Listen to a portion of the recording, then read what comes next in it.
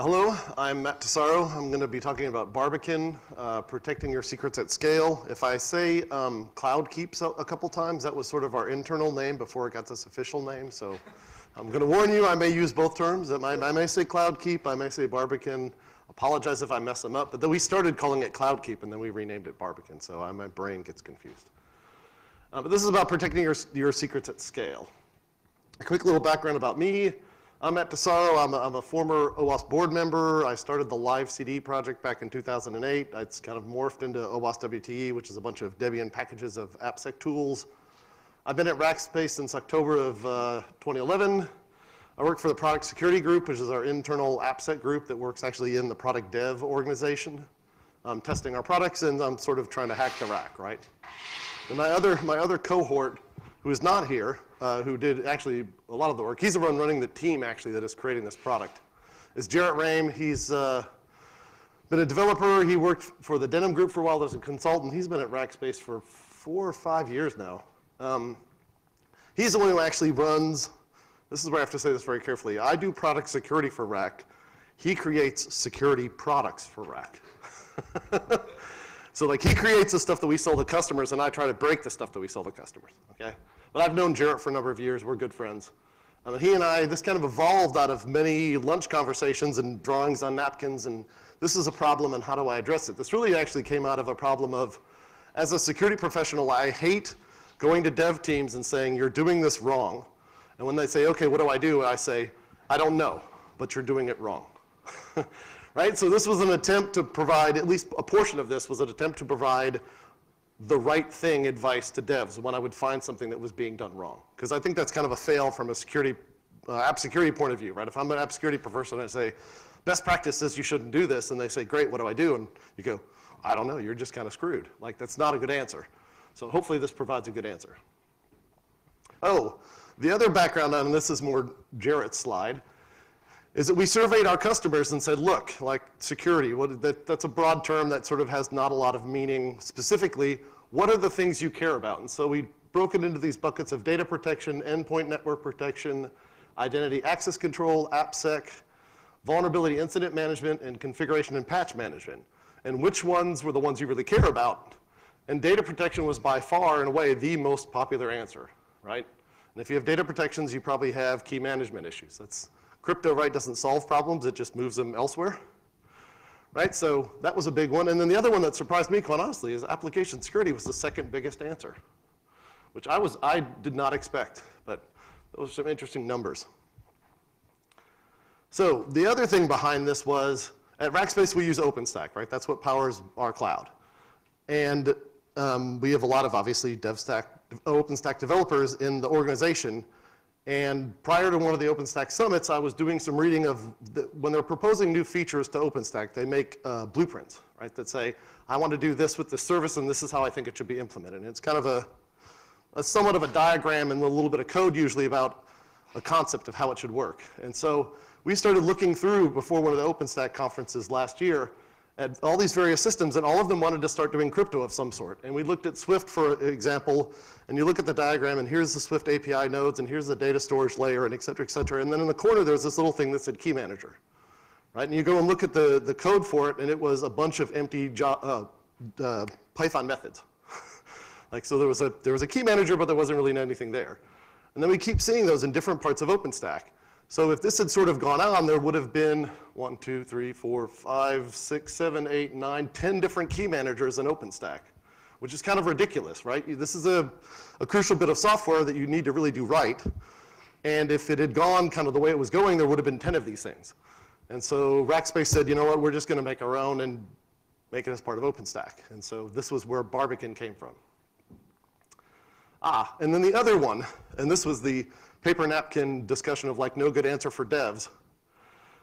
Right, if you have an app, if you're doing custom dev, inevitably you have some sort of scary data in a config file, right? Be it a database credentials, a API key, something, right? And particularly in the Linux world, there's not a really good answer as what you should do with that, right? What do you do? Well, you put it in etc and you own it by root, right? File permissions, uh, that's not such a great answer, right?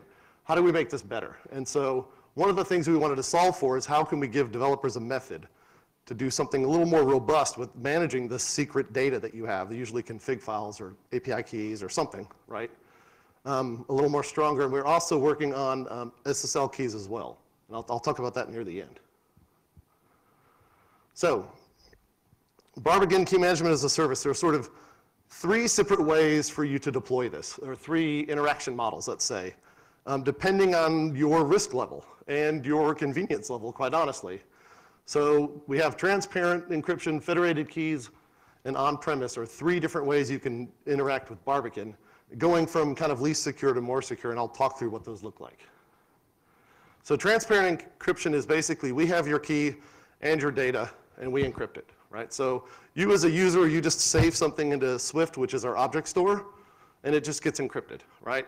Obviously, this is the least secure because we have your key and we have your data, but if you just need a tick box for compliance or something that your data is encrypted, this will get you there. And certainly it's the simplest method uh, for you to manage this process, right? Because it's all just API calls. And then for uh, more risk adverse groups, we have this idea of federated keys where you would talk to the consuming service like Swift, the object store, and say, I want you to encrypt my data that's going into Swift. It would reach out to Barbican, and Barbican would know this is a federated user, and there's two different interaction models. This would either reach out to your on-premise Barbican install, get the key and push it back here, or tell the consuming service, Swift, you need to talk to that Barbican instance to get the key. So this way you have the key, but we have your data. And then the third one is on-prem, right? You just run it all yourself, and we have nothing, right? So those are your sort of three deployment options. So what does this guy look like? So at Rackspace, our deployment is a load balancer with some number of API nodes behind it. We have a queue from which workers read off of. We have a database to sort of store metadata. We have HSMs deployed, and I'll, I'll speak a little bit more about that in a minute. HSM is a hardware security module. It's a specifically hardened piece of gear to hold crypto keys. Uh, we use Ansible and Chef, and we have some metric services to keep track of everything that's going on. But this is sort of the standard large-scale horizontally scalable deployment if you want to get an idea of what it would look like. And then key storage. So we found out when we were starting to, to create the Barbican service that a lot of the HSMs are really not made for multi-tenant. In fact, they're not entirely at all made for multi-tenant. And there's certain limitations on number of keys. And we don't want to store, store 100 keys, we want to store 100,000 keys. And so what we ended up doing was creating a key encryption key that stays and never leaves the HSM, and that key is used to encrypt any keys owned by the tenant. So there's per tenant, oh, and I should explain, tenant in OpenStack speak is customer. So per customer encryption keys, right? So all of your keys for that particular customer are encrypted with this one key encryption key. So you give us secret data, we encrypted and then store it in the data store. And the HSM holds that key encryption key. So it's a way we can scale out HSMs because we originally thought we'd just store everything in the HSM, but they just won't handle the, the throughput. And they're also not cheap devices by any stretch. So we didn't want to have to buy 100 of them, right? Kind of makes it a cost ineffective service to offer. And then the agent. So this was, this was the, a lot of my discussion with Jarret Raim about well, this is great, and like if you're writing brand new apps, you just talk to our API, right? Hey, I need my my uh, encryption key and it will hand it to you, right? Cool, but what if you have legacy apps? Like, well, we all have apps that are in production running right now. Like, what do you do? And so we ended up with this idea of using a Fuse file system. And a Fuse file system, this is all for Linux, by the way. A Fuse file system under Linux is a file, some code that sits between the kernel's system calls and user space calls to, to create a file system under Linux. So I can create what looks like and smells like and acts like a file system, but it's really my code running. We would use that to create a pseudo file system that was only in memory and then wrap policies around that. So now I can do things like know who, what, and when that file gets read and say who can read it and who can't read it and what's odd about it. And I'll show my, in my demo, I'll show this in, in process where we have a policy that says you can only read this once and you can't read it twice, right? So therefore you can't read it twice. And actually keep someone, the, like the traditional attack scenario is I get access to a box or maybe I have directory traversal The app can read the key, I can read the key, right? So I read that config file, I get all the goodies, I write up a nice pen test report, and I go home. Right? Well, under this case, if you only let it read once, that app will start, it'll pull that stuff into memory, and then anybody else who touches that config, I can now notice. Because right now, as an app, someone running a whole bunch of apps, you have no idea who's looking and reading at that, or interacting with that key or that secret material, right? Um, Keystone integrated, this is just the, uh, this is more for OpenStack. OpenStack's identity manager is called Keystone. So this is integrated with Keystone. And one of the nice things is that the agent that's running that fuse file system can then talk back to the API and give you this out-of-band communication. Hey, this process read this file at this time, which you don't have right now, which is, I think, kind of cool. Ah, an example policy. So what do these policies look like? So uh, it's a policy, here's this UUID, just a uniquely way to identify this, this specific policy. Time available after reboot, this is an idea if you can say, if it's more than 10 minutes after reboot, nothing should read it. I don't care if it's never been read, right? So you can have these various policies. The keys stanza, this is the secret, so this is 48.2, I think, characters of random data. You can say what group, and if you drop down a little bit, what owner. Can read that key. Here's a UUID, just uniquely identifying the secret. You can attach expiration times, which is nice. Right now, you can actually have an API that you can query to find out when your keys are expiring soon, right? Which for SSL, like never happens, um, which is why we're using this for SSL at Rack. Um, but you can also do this for just key rotation, right? For uh, compliance reasons. I must rotate that key every 90 days. Now you have sort of a countdown timer tagged with that key. Um, cacheable means can you cache this? Can the agent cache this in memory or does it have to make a request back to the API for every time? So if you're really concerned about someone getting access to that box, you can have the API when I try to read that file, actually make an API call out, pull the key and hand it off and then drop it out of memory. So it's never even in memory for very long on, on the server. The MIME type is just a way to understand what might use this data because to Barbican, it's just an arbitrary bunch of text, right? We don't pretend to know if this is an SSL cert or if it's just a, a password or whatever. Um, and then the file name, this is the file name that will be mounted in the directory on the server under Fuse. Now, tenant ID is just who owns it. Max key, max key access is one, so I can only look at it one time. If I look at it twice, bad stuff happens. Uh, the directory under which to mount this is etc keys, and just a name for this policy, example inc, whatever you want to name it, right? Just a label so that you have a human readable, not a UUID, to deal with when you're talking about these policies. Ah, and then events. So the agent has this concept of logging events, and you have multiple targets for events. You can write to a file, just traditional log files. You can write to syslog. And in the demonstration I'm going to show you today, we log back to the API. So this is a way to track boxes sort of on a separate channel and off box, almost like shipping off your log files for access to anything that is confidential or secret or some, somehow sensitive. Um, the nice thing is that you can now get a hint that something's going on with the compromised server, right? I get access to a server, the first thing I want to do is look for the goodies. And that activity of looking for the goodies is going to cause these events to be propagated to the API or your syslog server or what have you, and now I have a chance to notice a compromise going on at the time it's happening, right? Depending on your policy, you can have what's called a panic. And when the agent panics, when you violate policy, depending on settings, the way I have the proof of concept I'll show you is I drop everything from memory and I basically shoot myself in the head. Well, not me, but the agent, right? Um, and so it just drops everything and goes away and nothing's on disk.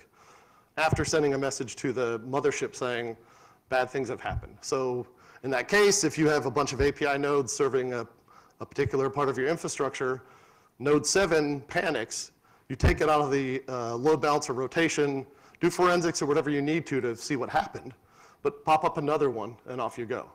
And it's a quick way to be able to react to compromises across a horizontally scaled application. I think I said everything. Yes. Oh, and going off-site obviously helps you with things like PCI, um, or off, off the box helps you with PCI and other compliance regimes. Yes. Yes. Cool. Come on. Oh, demo time. Okay. Let me show you. So full disclosure, right? I have, oh, oh, I got to move these over to the other window. So here's one VM running. Just a standard Linux install. There's a, hey you. Here's the second VM running, standard Linux install. This one is Postern, which is the agent. And this one is Barbican, which is the uh, UI and API. And I need to drag this guy. Wow, that's going to be small. Okay.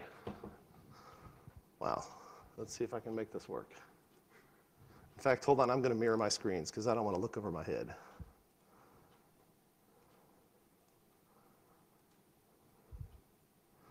Much better. Okay, yay. I don't have to crane my neck. So we have Barbican here. This is where the API is running in the web interface. I'll show you. Postern here, which is the, um, the agent running on a server, which would be where your app would be. And this is me sort of simulating interacting with that policy, or the, the key file and showing you what happens if you violate policy. Where did Firefox go? There's Firefox, okay, cool. Oh, wrong one. Let me fire up Barbican. And there we go. So I'm going to log in. This is just a quick and dirty uh, web interface so I can have nice looking demos because like showing curl is not that exciting. Uh, come on, remember. Okay. So we have a tenant, which is in Rackspace or OpenStack speak as a customer, right, which is just identified by this unique ID. We have a key, like I mentioned earlier, right? So this, this key is bound by this policy. Here's the unique ID for the key. Here's the file name secrets. Here's the application type. It's a it's a encryption key for AES. Here's our expiration date, uh, 1028 of 2014. Here's the secret, those 40 some odd characters of random text. It'll be owned by root. It'll be group owned by root, and cacheable means that I can store it in memory on the uh, agent in the file system, the Fuse file system. And then if you look at policy, this is much like the example I showed you earlier. For this particular tenant or customer, here's a uniquely identifying, uh, uh, or unique ID for this uh, policy. The name of it is the example policy. We're going to mount it under etc keys. It'll have one max access, and it can only be accessed 10 minutes after boot. All right? And if you notice, we have no events and no agents, right? So we need to fire up an agent and have it pair with this, uh, this API. So I'm going to go back to Postern and fire up the agent. All right, so it says, like, is this readable? Yes. Okay. So info logs into API and init complete. So I've mounted the Fuse file system. And, and the, there's a particular kernel module in the Linux kernel that lets me sort of intercept file system calls. And instead of going directly to the kernel, they go to my code. And then my code can either pass them back down to the kernel or do something. And so this is how I, I fake a file system uh, under Linux. And I, I will show you that in half a second. But first, if we go back to the events, you'll now notice for this tenant and this key and this agent ID, at this time, I now have policy being enforced for etc key secrets on this host. Right, so now you know that the agent is up, it's paired. Actually, here's the, the pairing of the agent, right? So the agent is up and paired. It's running on this particular host, Postern demo. It's running this particular OS version and the agent, like just a version for the agent, right? And so now we know that the, the uh, agent is up and running and has a Fuse file system mounted for this particular, uh, it would be like a config file for an app. And if we go back to here, and so I'm root and I'm in my home directory, I'm going to ls lah slash etc keys, and it looks like a file system, right? So let's go ahead and cat slash etc keys secrets. And there's that 42 character secret, right? Now, if we go back here, you'll notice that there's an info log. I did exceed my uptime restriction because I fired these VMs up a long time ago. Um, there's an info log sent to the API, and if we go back to the web interface now and we refresh this, you'll notice that, hey, at this time and date, etc key Secrets was, um, access to etc Keys Secrets was allowed by policy on that Postern demo host. So now we're actually getting visibility into something reading this file that has scary secret data in it. And if we go back and run this again, nothing. And let's go look at that directory, like what happened. There's not even a directory anymore.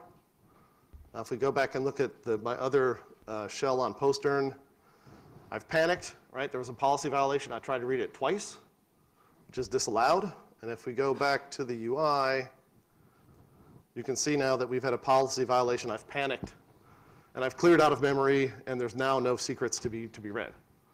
So the, the idea with this is it allows you to actually have visibility into access to these particular config files that are scary. Now, obviously, if you're writing a new app, I would directly call our API. That makes a hell of a lot more sense. Um, but there's also, we thought there's tons and tons of legacy existing code. Why not provide a means to be able to have uh, visibility into access and actually do restrictions upon access to those various files that you inevitably have to have? Because crypto, right, there's always a key that you have to do something with. And you can put the key in another key and encrypt it, but you just have this turtles all the way down thing. And so hopefully, this will allow you to get out of that race, or at least get some visibility into it. Let me go back here. Ah, really?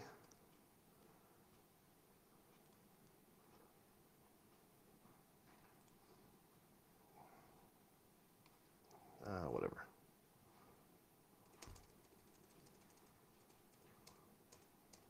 Okay. So what's next for uh, Barbican? Um, and I should mention the, um, well, one thing.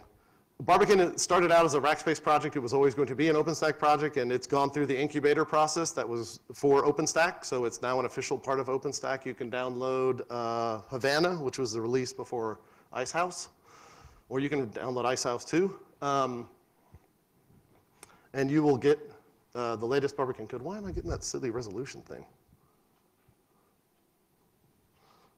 That's really annoying.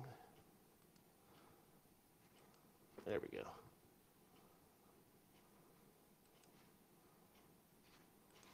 Okay. Sorry, that was annoying me. Um, so it's now official part of OpenStack. If you want to download and get this, the only things you need to run it is Barbican and uh, Keystone, which is the identity service for um, OpenStack. And there's plugins for, ident- for Keystone to plug it into AD or various LDAP stores if you want to sort of tie it into your existing infrastructure. Um, the current state of what they're working on next for Icehouse, which is the next uh, OpenStack release, is KMIP support, which is, I'll be honest, kind of funny because everybody asks for KMIP support, and then you ask them, do you use KMIP? And they say no. KMIP is the, what is it, the key management interaction protocol or something like that. I can't remember, but it's a, it's a standard for handing, um, doing key management uh, between two hosts. And it's, I guess it's a good standard. It's an OASIS thing, but like nobody has actually implemented it. So one of the HSM vendors, SafeNet, is actually writing a Python KMIP library.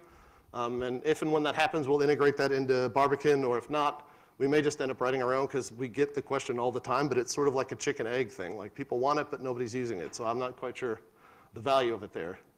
Um, SSL and TLS, this is another great thing that I think is really going to help with Barbican. Now you can manage all of your certs, and we're integrating with either internal or external uh, uh, certificate authorities to where you can now get, issue, and manage certs all through Barbican, which if you have an HSM now is backed by an HSM, and you have things like countdown timers, and you can write uh, web interfaces talking to REST that'll let you know this cert is expiring in so many days, right? It's sort of a nice centralized managed place to handle all those SSL certs. Um, we have federation going and we're working on the, the additional uh, federation methods like the one, the method I talked about where you talk to, say, Swift or the service, it talks to Rackspace's Barbican and then it talks out. We've got the uh, service, Rackspace's Barbican, to a third party's Barbican, and then back out avoiding Barbican, but both models we haven't got quite worked out yet. So the second of the two models is not done. Um, and well, just is really more OpenStack directed, but we're working with the various and sundry OpenStack teams that want encryption to integrate with Barbican so that there is the key manager for OpenStack and not N key managers for OpenStack, because that was a bit of a problem. Um, and if you want to play with it now, you can. Uh, we have a Python Barbican client. It's open source and on GitHub. Actually, all of this stuff is open source and on GitHub. Um, they've got very good documentation and their source code. There's an integration environment if you want to play with this and talk to a Barbican API. Um, that's fine. It's obviously for dev only. I wouldn't put anything you give a rat's A about um, because this is a dev environment. Do not put real secrets in this, right? this is where we make sure the clients work. This is not where you put real stuff. Um, and there's also a command line client called keep, staying with the castle motif, um, that allows you to do client operations so you don't have to type these big long rest strings or big ugly curl. Wow, and that's it. That was quicker than I thought it was going to be. So the teams that's on uh, pound OpenStack CloudKeep on Freenode, GitHub slash CloudKeep is where all the code is, and Barbican at list.google.org is where all the devs sit and answer questions. And pull request accepted gladly if, if this is something of use. Oh, and I should mention, if you look at the, the code that I demoed, you will notice it was barbican-POC. is proof of concept. So the, the policy is not implemented in the official OpenStack instance yet. That's being worked on currently. We basically wanted to prove out it worked before we actually did the whole get it into OpenStack thing. So this code should land, I'm working on a Go version of the agent now, and hopefully this code should land by Icehouse, which is this fall, I think September, maybe October. So this should be for reals available in September, October. Any questions? No one wants going twice? Sold. Well, thank you very much.